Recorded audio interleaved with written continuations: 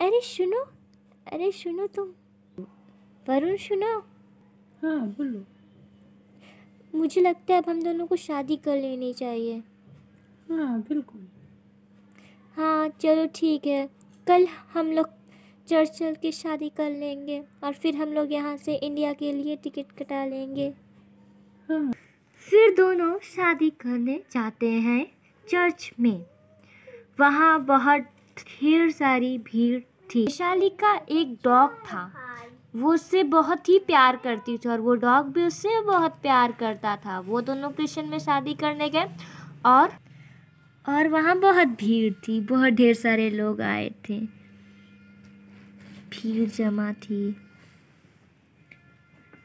वरुण के दोस्त भी वहाँ पे आए थे। वैशाली भी वहाँ थी और वह दोनों ने शादी कर वह उसे गुलगस्ता देता और दोनों की शादी हो जाती है।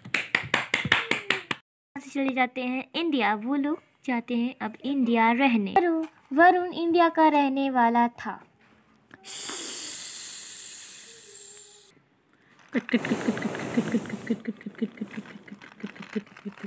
और वो लोग अपने घर पहुँच जाते हैं। विधवा माँ उनकी आरती उतार रही थी। और उसकी एक ननद भी थी, जो उधर मुँह करके खड़ी थी। इसलिए खड़ी थी क्योंकि उसके भाई ने उसे शादी में नहीं बुलाया और वह उधर मुँह फुला के खड़ी थी। और विधवा माँ रो के, आ रो के बच्चों की आरती उतार रही थी। अरे बेटा, तुमने शादी कर लिया और मुझे बुलाया भी नहीं। छोड़ो, आजकल के बच्चे तो ऐसे ही हैं। नहीं माँ नहीं माँ ऐसा कुछ नहीं है। मैं यहाँ अरे आप भी कैसी बात करती हो माँ? तेरी बहन को देख कितना गुस्सा है। इतनी तैयारी करके बैठी थी। अरे बहना मैं तुझको ट्रीट दे दूँगा ना। हाँ, मुझे तुमसे बात नहीं करनी भाई।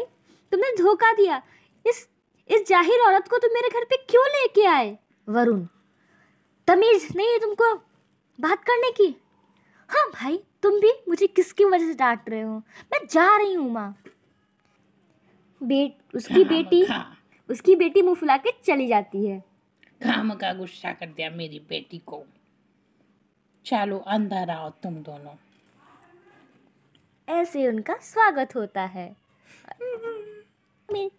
उन लोग माँ का पैर छूते हैं। माँ बोलती है हट जाओ मेरे पास से। माँ माँ। उसकी बाहू कमरे में जाती है। वरुण जाता है, उसे कमरा दिखाता है। तुम मेरे पीछे आओ, तुम मेरे पीछे आओ। आज से ये तुम्हारा कमरा है। उन लोग की बातों पे ध्यान मत दो। वो लोग मुँह से बहुत कड़वे हैं और दिल से बहुत ही नरम है, जैसे एक नारियल होता है। नहीं नहीं जी, मुझे बुरा नहीं लगा। नहीं नहीं। दोनों सो जाते हैं क्योंकि थके रहते हैं दोनों सो जाते हैं और नीचे माँ बेटी पता नहीं क्या खुशफुश कर लाइट बंद हो जाती है। कितनी अच्छी लड़की मिली थी। पूरा हाँ। लाख लेके आ रही थी। हाँ माँ हाँ माँ। भाई को भी पता नहीं क्या शादी करने की जल्दी थी और इस मनुष्य से शादी कर ली। इसकी शक्ल देखी है तुमने? फिर में ले आया मेरा पेट। हाँ माँ तुम सही कह रही हो। मुझे तो लगता है हमें कुछ करना चाहिए। उसको इतना परेशान करेंगे कि ये घर छोड़ के भाग जाएगी। नहीं माँ भाई परेशान करने से देखा तुमने कैसे वो हंस रही थी? उसके परेशान करने से कुछ नहीं होगा माँ। आते ही मेरे लड़के को अपने बस में कर ली है डायन। माँ माँ हमें लगता है ना जब इनका एक साल पूरा हो जाएगा तब हम इसे मार डालेंगे। तू सही कह रही है। इससे तो मैं भी पीछा छुड़ाना चाहती हूँ। क्योंकि अभी हम मारेंगे ना माँ तो भाई को शक हो जाएगा। हम इससे एक साल तक अच्छे से रहेंगे अच्छा व्यवहार करेंगे। ताकि हम पे किसी का शक भी ना जाए। हाँ माँ। हाँ बेटी ऐसे ही बात करके खूब हंसती हैं। वो तैयार होके अपने कमरे में बैठ के खिड़की से bye Varun Varun bye. Bye मैं मिलता हूँ।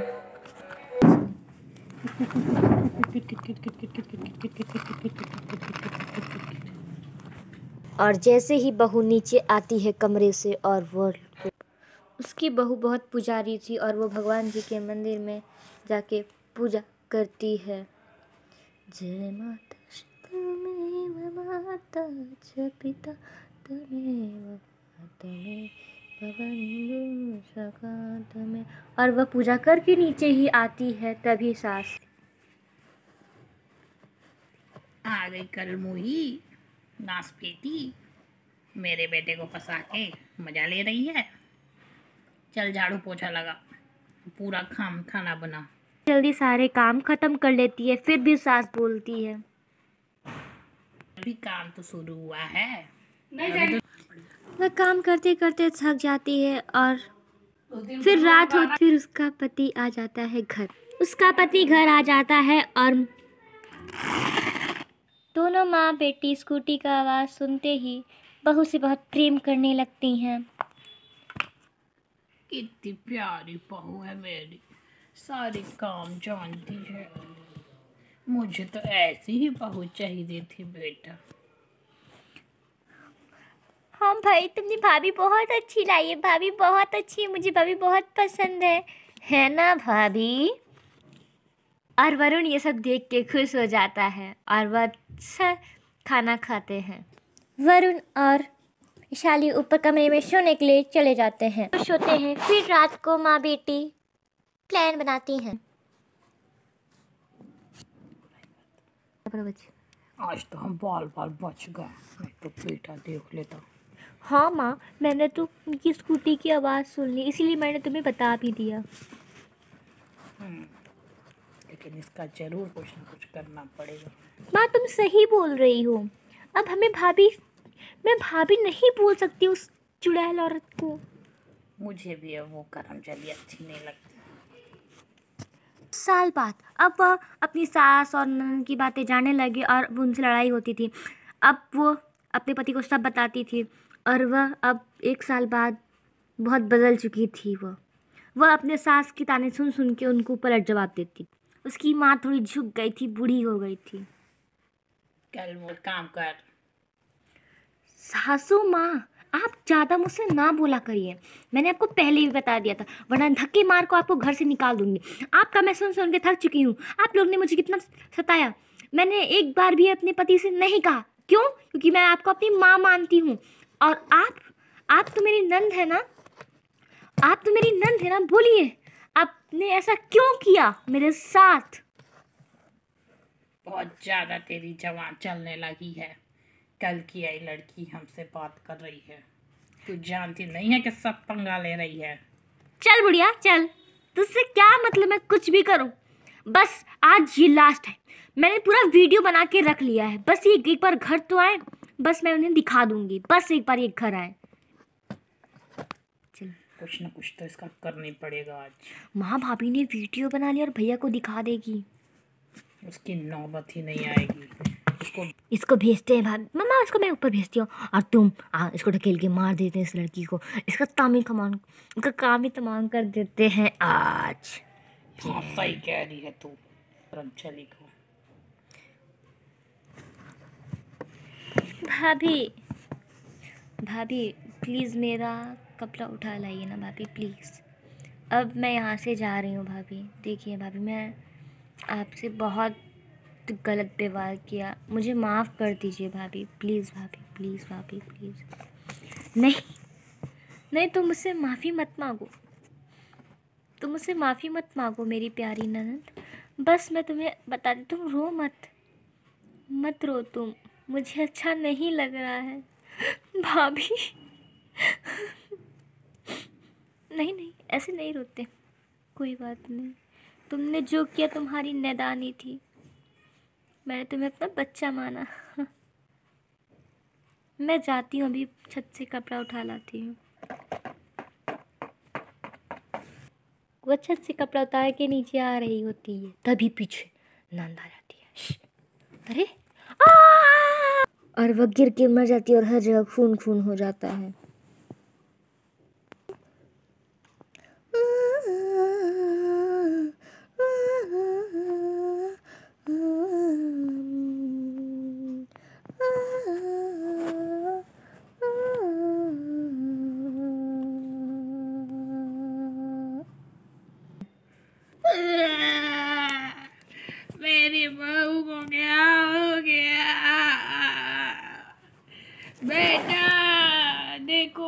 बेचारी गिर के मर गई संभालो माँ अपने आप को संभालो माँ अपने आप को माँ माँ नहीं बेटा आज नहीं संभाल पाऊँगी मैं। उधर से अरुण आ रहा होता है। अरे बेटा रे क्या हो गया देख। माँ माँ मेरी जान से ये क्या हो गया? माँ। ये क्या हो गया माँ? माँ ये क्या हो गया? नहीं आता है। नहीं! रोते रोते दूसरा दिन हो गया और उसकी मिट्टी जलने के लिए जाने लगी और वह लड़का उदास रहने लगा। अपने कमरे में अकेले रहने लगा और एक दिन उसने उसकी याद में आत्महत्या कर ली अपनी। उसने फांसी और वह एक दिन लटक के मर जाता है। फांसी लगा लेता है वह। माँ आज फिर रोती है। ये क्या किया बेटा? तू क्यों मर गया? माँ चुप हो जाओ माँ। मैंने कहा तो सिर्फ़ तुम्हारे वजह से मेरे भाई की जान चली गई माँ सिर्फ़ तुम्हारे वजह से। मुझे क्या पता था मेरा बेटा भी मर जाएगा उस कल फंसा के मार डाली। इतना अच्छा मैं बहू लाने वाली थी। माँ। मेरा बेटा।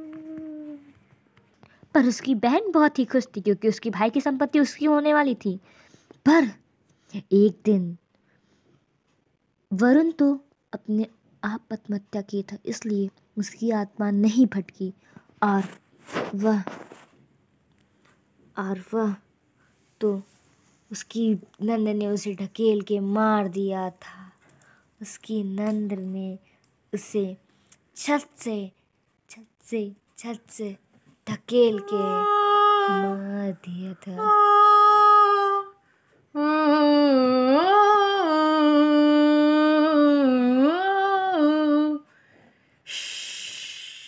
कुछ महीने बीत जाते हैं बेटी की मृत्यु होने में और वहाँ उस, उसकी बहू की आत्मा भटकनी है पर दोनों सास सास और उसकी माँ और बेटी बहुत खुश खुश रहने लगे थे और उसकी बेटी का अफेयर चल रहा था। हमें पता है मैंने अपने भाभी को धक्का दिया था और मैंने उन्हें मार दिया। वह पूरी बात सुन रही होती वहाँ खड़ी की, क्योंकि उसको नहीं पता था कि उसे किसने मारा है। और वह अब भी बदले होता तलाश में थी और नंद उस अपने आशिक से बात कर रही थी। तुम्हें पता है, मैंने ही अपने भाभी को छतरा खेल के मार दिया है। क्या? तुमने मर्डर किया? ये कैसी आवाज़ थी? तुमने सुनी? ये कैसी आवाज़ थी? ये आवाज़ कैसी थी? माँ? अब माँ को बेटी नहीं पूछती। अब माँ अकेले रहने लगी अरे, बेटा बेटा इधर आओ। बेटा, पूरा सामान गिर जाता है। बुढ़ी गिर जाती है नीचे और वह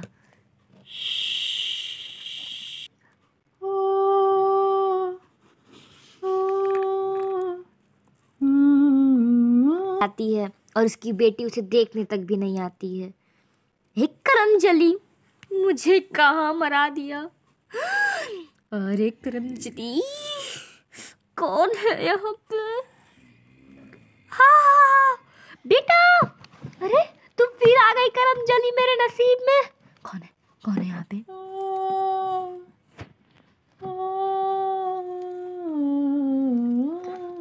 बुढ़ी जल्दी दौड़ती दौड़ती जा रही थी। बुढ़ी जल्दी दौड़ती दौड़ती अपनी बेटी के कमरे में जाती है। सो रही है क्या? अरे उठ। क्या कर रही है तू? उठ। क्या हुआ माँ? मुझे परेशान ना करो। जाओ बुढ़ तुम नीचे। बेटी सुन वो आ गई। कौन आ गया माँ? क्या तुम भी? कौन आ गया? क्या? मुझे तुम मुझे तुम माँ बेटी का तो कुछ समझ नहीं आ रहा मैं जा रहा हूँ। आता है डर के मारे। जल्दी भाग भाई भाग यहाँ पे तो चुड़ैल का साया है मैंने देखा है। माँ तुमने उसे भगा दिया? तुमने तुमने निहाल को भगा दिया? माँ तो तो और है। देख, मेरे पीछे क्या था माँ? माँ मेरे पीछे क्या था? वो दोनों कोने में खड़े होके छुप जा भीगी बिल्ली बन के वो लोग छुप जाती हैं।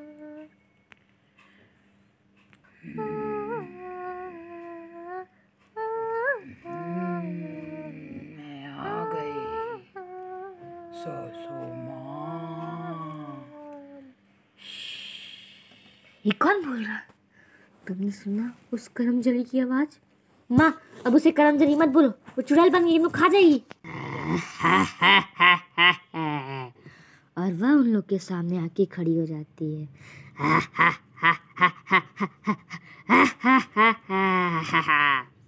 मैं आ गई सासू माँ। मैं आ गई। अरे बाप रे ये कहाँ से आ गई मेरे भाग्य में? बेटी बचाओ मुझे। चपा चपड़ी। तू ननंद रानी मुझे तूने धक्का दिया है। बोलो ना मैं तुमसे पूछ रही हूँ। माँ मुझे बचा लो माँ भाभी। भाभी मुझे माफ़ कर दो भाभी। अरे बेटी मेरी तो कोदी फाटी पड़ी है मैं कैसे बचाऊं? माँ तुम मुझे ऐसा क्यों कह रही हो? माँ मुझे बचा लो। तू अपनी सोच मैं तो यहाँ से भाग रही हूँ। माँ मुझे छोड़ के मत जाओ माँ। माँ मुझे छोड़ के मत जाओ माँ। मुझे ये मार देगी माँ मुझे छोड़ के मत जाओ। और वह बूढ़ी सास वो वो उस बूढ़ी माँ भाग जाती है अपने कमरे में। बताओ ननन रानी वह उसे खींच के ऊपर ले जाती है।